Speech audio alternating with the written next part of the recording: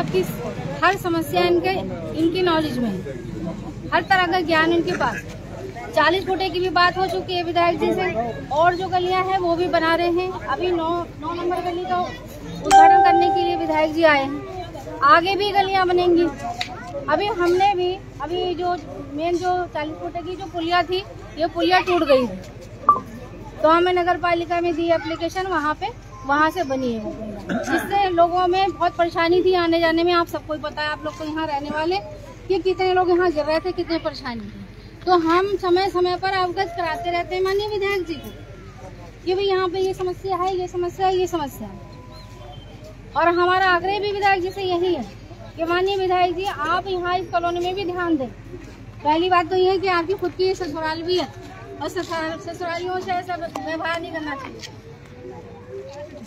अगर ससुराली खुश रहेंगे तो समझ लीजिए आप खुश है। नहीं है? जरा जोरदार तालियाँ तो आप। यहाँ पर भी थोड़ा सा कॉलोनी में ध्यान दें, और थोड़ा सा यहाँ पर भी।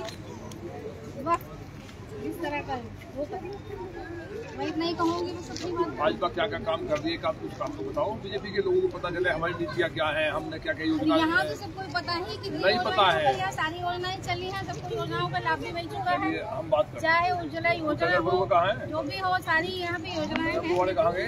मराठी। आज एबसेंट है जी। भाई तो बुला नहीं रहे गड़बड़ कर रहे हो ये ललितपुर ललित कहाँ गए पंडित जी? पंडित जी मैं तुम यार को दो चार बात कहो यार तो पड़ेगा। अरे बताओ आई है। अभी जो यार ज़्यादातर लोग हैं मजदूर परिवार में। जी, भाई बहुत जी। भैया एक मिनट है? ये कहेगा मास्टर जी आजा मास्टर बैठो पहले एक मिनट बैठ जाओ। जी जी ऐसा पहले ललित जी बता दें, जो लोगों के लिए, गरीब लोगों के लिए योजना है ना हमारी, सरकार के द्वारा कार्ड बन रहा है श्रमिकों के लिए।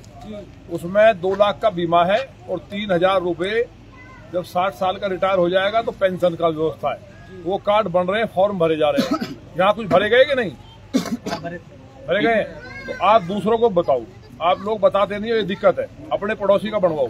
बहुत शानदार स्कीम है प्रधानमंत्री जी की।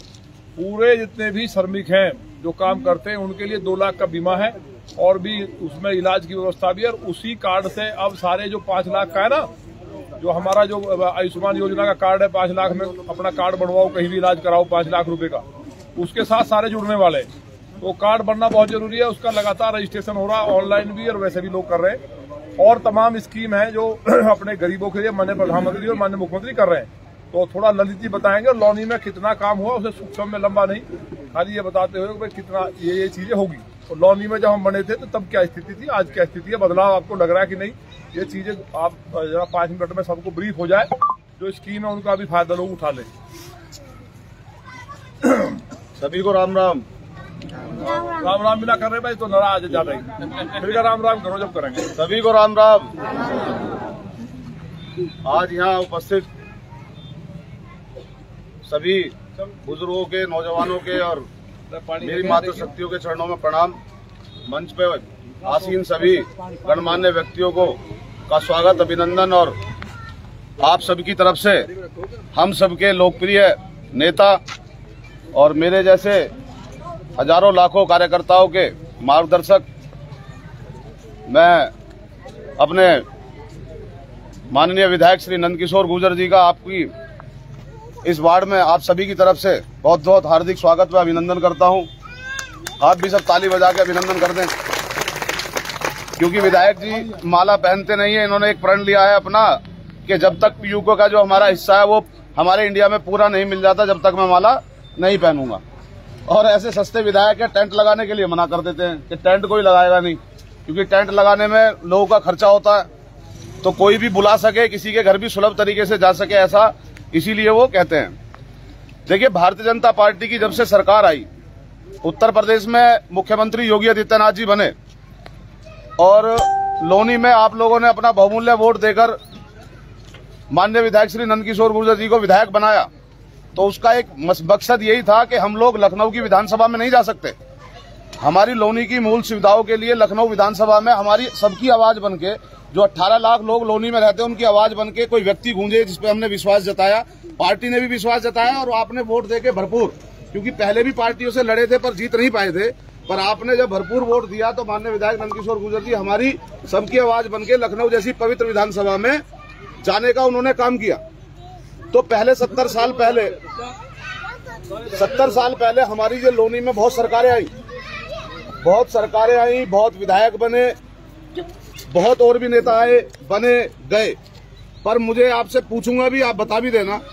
आज से चार साल पहले हम दो पाँच साल पहले चले जाएँ तो कायदे में तीन साल में कहूँगा क्योंकि दो साल कोरोना ने पूरे दुनिया के खराब किए हैं। तो हमें तो मौका सिर्फ़ तीन साल मिला। उस तीन साल के कार्यकाल में अगर हम पीछे चले जाएँ जब पिछली सरकारें थी तो मुझे आप बताइए बिजली कैसी आती थी? बिजली आती थी क्या? देखो अगर जो बात सही हो उसे बताना। बिजली आती थी क्या? ध्यान होगा आप लोगों को, जनरेटर के कनेक्शन ले रखे थे ना हमने, बल्ब लेते थे ना जनरेटरों के। अब से पाँच साल पहले ये कंडीशन थी ना, सौ रुपए में, अस्सी रुपए महीना किराया देके, जिनके यहाँ इन्वेटर नहीं होते थे, वो जनरेटर के कनेक्शन लेते थे। कुछ भाइयों ने लिए होंगे ज़रूर। और इन्वेटर छह महीने, चार महीने से ज़्यादा बैटरी उसकी चल नहीं पाती थी, क्योंकि उनपे लोड इतना रहता था। अब क्या ये जादू की छड़ी भारतीय जनता पार्टी की सरकार में विधायक नंदकिशोर गुजर के पास ही थी क्या? कि हमारे लिए सत्तर साल में बिल तो भरवाए गए। पर हमारे लिए कहीं भी बिजली की व्यवस्था को दुरुस्त नहीं किया गया। वो बिजली की व्यवस्था दुरुस्त ऐसे नहीं हुई कि कोई मंत्र से हो गई हो। उसके लिए विधायक जी, आपने जो आवाज़ बना के लखनऊ भेजा, उस लखनऊ विधानसभा में विधायक जी ने बोला कि लोनी में बिजली आठ या दस घंटे आती है। ट्रांसफार्म फूक जाता है तो दो दो महीने में आता था। आता था, नहीं आता था? और उसका चंदा उगाना पड़ता था। हम लोगों को पचास पचास सौ सौ रुपए करके चंदा उगाना पड़ता था। आज ट्रांसफार्म फूकता है तो क्या दूसरा दिन भी लगता है उसे? क्या चंदा उगाना पड़ता है हमें? आज अगर ये व्यवस्थाएँ दुरुस्त हुई हैं तो उसके लिए ऊर्जा मंत्री श्रीकांत शर्मा जी से विधायक जी मिले और अपने मुख्यमंत्री से मिले उससे 250 करोड़ रुपए लोनी विधानसभा के लिए लेके आए जिससे नए 10 बिजली घर बनवाए गए।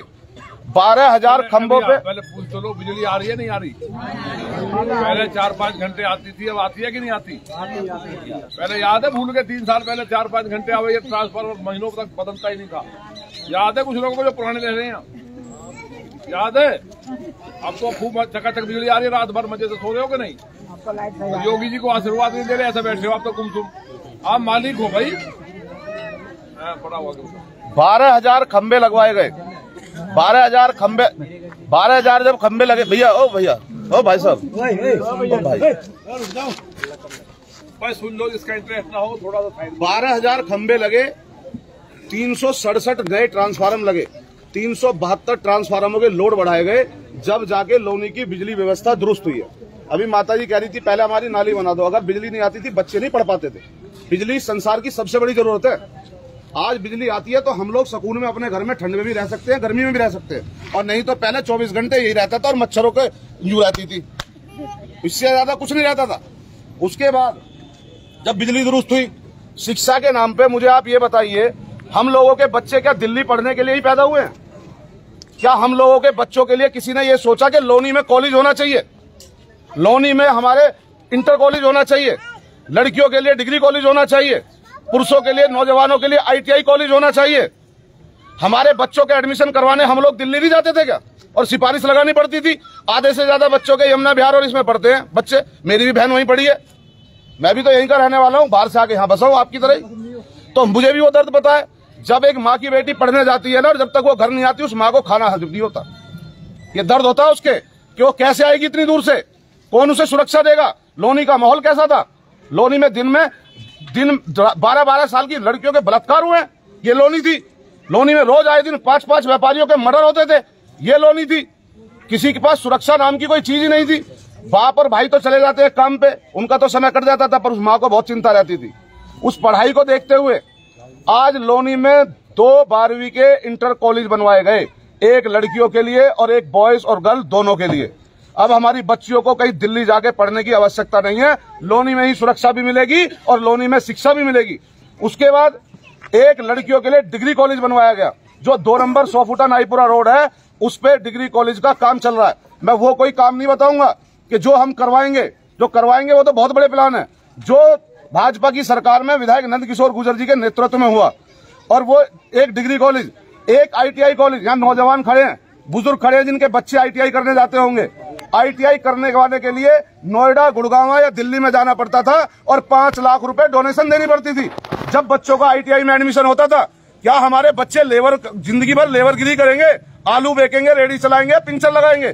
जब कोई बच्चा पढ़ता है तो वो शेरनी का वो दूध पी के दाड़ता है कि दुनिया की किसी भी ताकत में चला जाए तो पचास हज़ार रूपए से कम आईटीआई करने वाले बच्चे की नौकरी नहीं लगती। और जब पचास हज़ार रूपए किसी घर में आने लग जाए तो उसका घर फलने फूलने अपने आप लग जाता है। ये चिंता नहीं रहती कि पति को आज तनख्वाह नहीं मिली तो दूध वाले के पैसे नहीं जाएँगे।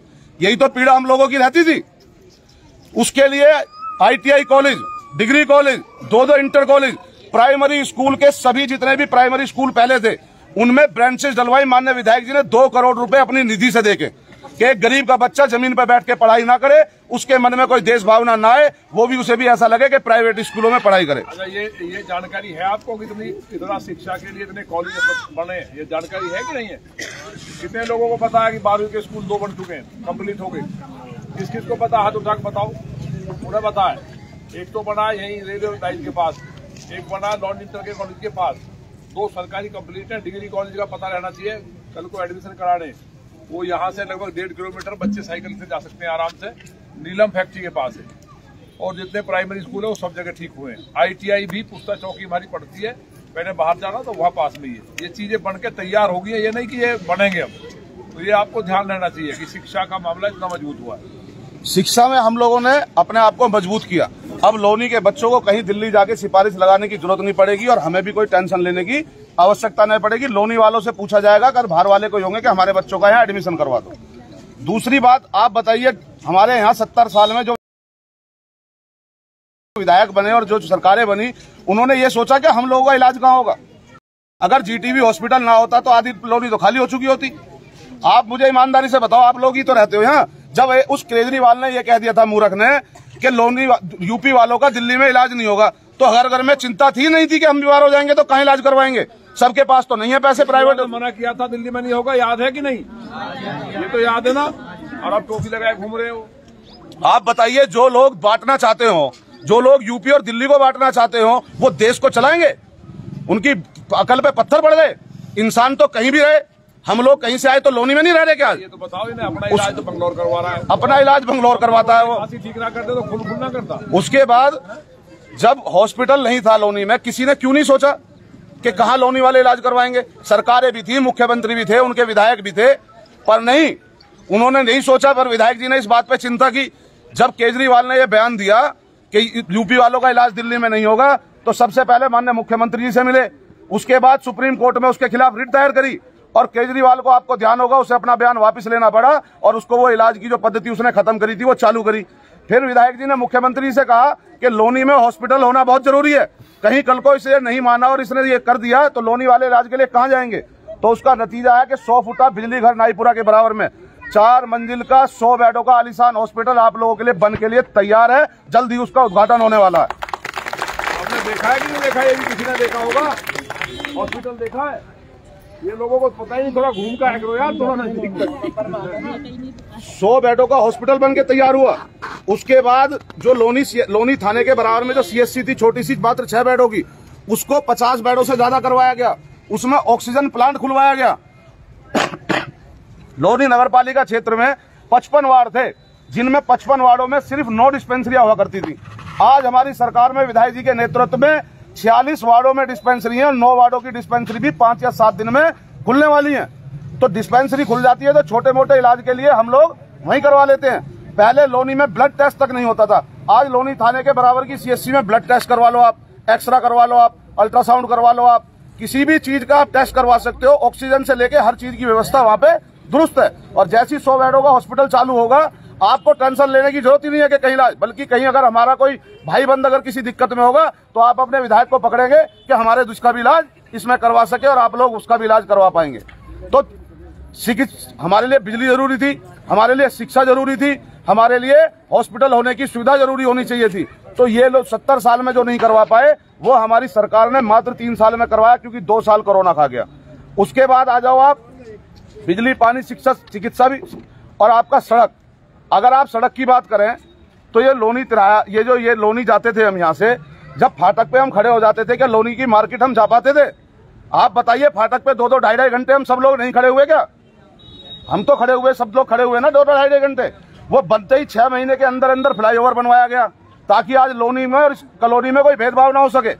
उसके बाद जो ये रास्ता था, भोपरा तक इससे कभी गाजियाबाद जाते थे तो कितने गहरे गहरे गड्ढे थे? बसें यूँ चलती थी। थी ऐसी स्थिति आज इसे करवाया। रात को जब आप लोग निकलते होंगे, जब इस लोनी में छह बजे के बाद इन रोडों पे लूट होती थी। होती थी, नहीं होती थी लूट। आज अगर रात को जब आप निकलते होंगे यहाँ से तो आपको लाइट जलती हुई रोड पे दिखती है कभी नहीं दिखती? अंधकार में पड़ी हुई लोनी को रोशनी में जगमगाने का काम किया। यह है भाजपा सरकार और विधायक नंदकिशोर गुजर का नेतृत्व। आपने, बहुत लोग आपके पास नाना प्रकार की चीज़ें लेके आएँगे। आज इस रोड का भी आपका उद्घाटन हुआ, ये रोड भी आपका पास हो गया, ये रोड क्यों नहीं बन रहा था? ये रोड इसलिए नहीं बन रहा था, विधायक जी ने कहा कि अगर पहले रोड बन जाएगा और नाला नहीं बनेगा तो ये रोड फिर टूट जाएगा। इसलिए पहले नाला पास करवाया, आज उस नाले का उद्घाटन करके आए, अब ये नाले का काम शुरू होगा, उसके तत्पश्चात ये रोड बनेगा, और उसके बाद इस रोड में आने के लिए जो हमारा ये बैन टीला से और दिल्ली तक का ये जो रास्ता है, ये कितनी बुरी हालत में, इसका भी आज माननीय विधायक जी ने, माननीय मुख्यमंत्री जी के साथ वर्चुअल बैठक में, इसका भी उद्घाटन कर दिया गया है। ये भी रोड अब जल्दी इस पे आरसीसी का काम शुरू होने वाला है। अंदर के आदमी कहीं गिर जाए कीचड़ में तो आप मुझे बताओ, मुँह साफ़ करेगा अपना या अपने पैर साफ़ करेगा? सबसे पहले अपना चेहरा साफ़ करेगा। लोनी का नाम ही बदनाम था। आप ध्यान करिए, दिल्ली से ऑटो वाले लोनी में नहीं आते थे। ये कहते थे, गोल चक्कर उतार देते थे। हमारे परिवार के लोग आते थे, उन्हें बड़ी दिक्कत होती थी। हम सब लोगों के पास वाहन थोड़ी ना है। किसी के घर में साइकिल है, किसी के घर में स्कूटर है, किसी के घर में मोटरसाइकिल है। वो भी काम पे ले जाते हैं लोग।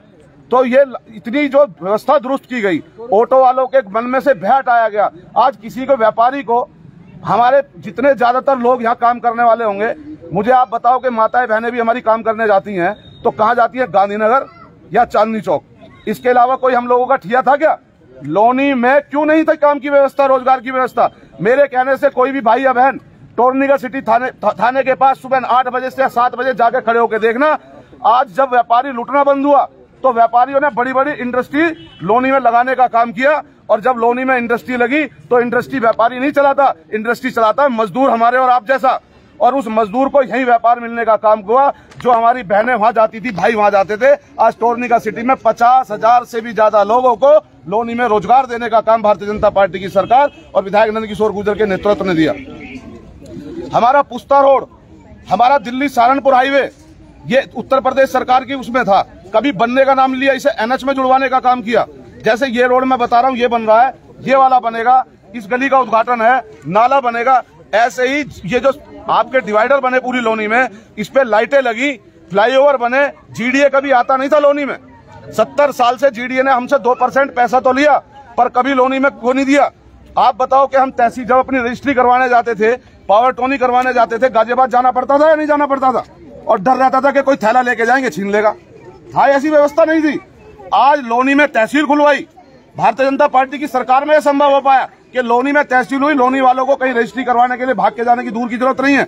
लोनी में ही उनकी तहसील हो गई। इसी प्रकार सड़कों का चारों तरफ़ जाल बिछा। अब छोटी मोटी जो गलियाँ हैं, कायदे में ईमानदारी की बात विधायकों के काम छोटी गलियाँ बनाने के नहीं होते, न साफ़ सफ़ाई करवाने के होते। उनके होते हैं बड़े बड़े college, degree college, medical college, park. Hospital, बिजली घर, जो बड़ी चीज़ है, जो विधानसभा में बोल के लाए जा सकते हैं, क्योंकि किसी नगर पालिका को चेयरमैन को विधानसभा में बोलने की इजाज़त नहीं होती। अंदर नहीं जा सकते वो लोग, क्योंकि एक गरिमा होती है। जैसे संसद में सांसद जा सकते हैं, ऐसे ही विधानसभा में विधायक जा सकते हैं। तो विधायक आपका जागरूक हो, विधायक आपकी बात को रखे तो बड़े बड़े प्रोजेक्ट आए। पर छोटे भी विधायक जी ने कहा कि नहीं, मेरी जिम्मेवारी है, जब नगर पालिका ने अपना काम ढंग से नहीं किया क्योंकि नगर पालिका का काम है कूड़ा उठवाना, उसकी व्यवस्था दुरुस्त करना। छोटी मोटी गलियों की पानी की निकासी की चिंता करना, उन गलियों में खरंजे वगैरह लगाना। पर विधायक जी ने कहा कि नहीं, अगर वो नहीं कर पा रहे तो वो भी हम लोग करेंगे। और उसी का नतीजा है कि हम लोग अंदर भी काम करवा रहे हैं। नगर पालिका तीन सौ करोड़ रूपए लोक आयुक्त की रिपोर्ट है, तीन सौ करोड़ रुपए का घोटाला किया तीन करोड़ रुपए खा गई। तीन सौ करोड़ रुपए अगर लोनी में लग जाते तो क्या ये हम गलियों की चिंता करते हैं लोग बार चुनावी दौर है। नाना प्रकार के प्रलोभन लेके आप लोगों के पास आएँगे। ज़रूर आएँगे। और वो ये कहेंगे, हम ये करवाएँगे, हम ऐसा कर देंगे, हम वैसा कर देंगे। आप सिर्फ़ एक बात पूछ लेना। हम लोगों ने मैंने आपको चीज़ें बताई। और जो मैंने चीज़ें बताई हैं, उन्हें जाके आप देख लेना। जिसके भी मन में ये लगता हो कि ये ऐसे ही बोल के चले गए नेता आए और अपनी बात कह के चले गए तो वो जाके इन चीज़ों को मैंने एड्रेस के साथ बताई है आप जाके देख लेना और उसके बाद जब जो दूसरे दल के लोग आए वो आपसे नाना प्रकार के प्रलोभन दें माल तो सबका खा जाना पर वोट भाजपा को देना और उनसे ये पूछ लेना। माल दे रहा है? और और उनसे ये पूछ लेना आप। एक बात ज़रूर कहूँगा उनसे ये ज़रूर पूछ लेना। आपने भैया सत्तर साल में हॉस्पिटल बनाया क्या? मगर करेंगे तो देगा कौन? आपने हॉस्पिटल बनाया क्या? आपने डिग्री कॉलेज बनाया क्या? आपकी जब सरकार थी आपने स्कूल बनाया क्या? आपने बिजली घर बनाया क्या? आपने फ्लाईओवर लोनी में पहले बनाया क्या? ये सारी बात पूछ लेना। अगर कोई एक काम बता दे कि हमने ये करवाया था अपने राज्य में तो आप बिल्कुल वोट दे देना। एक स्कीम और आपके बीच में मैं बता दूँ फिर माननीय विधायक जी को जिनको सुनने के लिए हम बैठे हैं इकट्ठा हुए हैं वो अपनी बात रखेंगे। एक स्कीम है अभी जब लखनऊ शीतकालीन शस्त्र चला था तो लास्ट का जो दौर था, उसमें एक बहुत इंपॉर्टेंट चीज़ लोनी के लिए आई है। वो हम सबकी बहुत ज़रूरी काम की चीज़ है। वो हम सब लोग उसको कर लें। बिजली के बिल सबके ज़्यादा हो रहे होंगे। बिजली के बिल किसी पे पचास हज़ार इकट्ठा हो रहा होगा, किसी पे दस हज़ार इकट्ठा हो रहा होगा, किसी पे चालीस हज़ार इकट्ठा हो रहा होगा, किसी पे एक लाख इकट्ठा हो रहा होगा। उस पे पेनल्टी और ब्याज भी लग रहा होगा। किसी में बिल है क्या हाथ उठा के बताओ। इनमें से किसी किसी तो भाई के बिल है दस बीस हज़ार का रुका हुआ है। अगर किसी का रुका है उसके लिए बता रहे हैं। पंडित जी वो बिल जो जमा अपना कई किस्तों में हो जाएगा उसका ब्याज व्याज सब माफ़ करवा दिया है। आप आपको सिर्फ़ जाना है एक्शन ऑफ़िस एक्शन ऑफ़िस जाके अपना बिल लेके जाना है कि जी हमारा ये बिल है। मान लीजिए उदाहरण के तौर पचास हज़ार का बिल है। पचास हज़ार के बिल पे पंद्रह हज़ार पेनल्टी है और ब्याज है। तो पंद्रह हज़ार पेनल्टी और ब्याज खत्म होके बचा पैंतीस हज़ार। अब पैंतीस हज़ार हम पे नगद नहीं है तो हम कैसे भरें? तो उसके लिए आठ आसान किस्तों में आप उसे भर सकते हैं। अगर पैंतीस हज़ार को आठ किस्तों में बांट दोगे तो वो पाँच हज़ार रुपये भी नहीं बचा। और आप अपना बिल उसका रजिस्ट्रेशन करवाने की तीस जनवरी लास्ट डेट है। ये योगी सरकार और माननीय विधायक जी का और श्रीकांत शर्मा जी जो ऊर्जा मंत्री हैं, उनका एक बहुत बड़ी सौगात है। तो ये अगर किसी को भी ज़रूरत हो, इसमें हो, किसी का पड़ोस में हो तो आप लोग एक दूसरे को बता के ये ज़रूर करवा देना। और आप लोग चिंता ना करें, अभी तो हमें तीन साल मिले अगर अगली बार आप लोगों का आशीर्वाद मिला तो लोनी को वाकई ही जो पहले लोनी में जैसे गड्ढे और हर जगह वो दिखता था, बहुत बड़े बड़े प्लान है। मेडिकल कॉलेज का प्लान है, लोनी में 700 करोड़ रुपए से सीवर डालने का प्लान है, ताकि किसी भी एक कोने में भी पानी ना भरे। बहुत बड़े बड़े प्रोजेक्ट लोनी के लिए बना के हम लोगों ने रखे हुए हैं। एक बार और आप लोगों का आशीर्वाद मिला तो लोनी को फिर किसी चीज़ की ज़रूरत नहीं होगी। लोनी दिल्ली नहीं दिल्ली क्या नोएडा क्या और सबसे इन सबसे सुंदर आपकी लोनी होगी। ये हमारा वादा है आपसे।